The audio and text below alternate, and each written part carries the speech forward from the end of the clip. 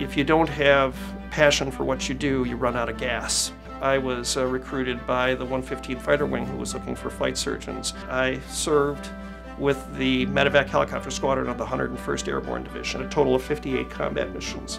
When we deployed in 2008 to Iraq, I took over 300 people with me and I promised those families that I would bring them all home safely, and I did.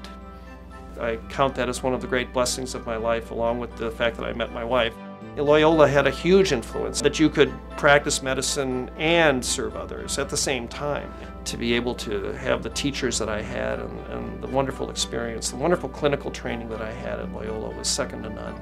My classmates were and are amazing. What I learned from them was we are what we repeatedly do. And excellence then is not an act, but it is a habit. Social justice to me is to make sure that everyone has dignity and respect. I worked hard to put myself into a position to take advantage of opportunities that came my way.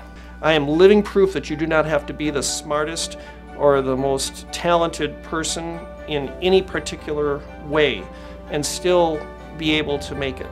Don't let anybody talk you out of whatever you believe your dream to be.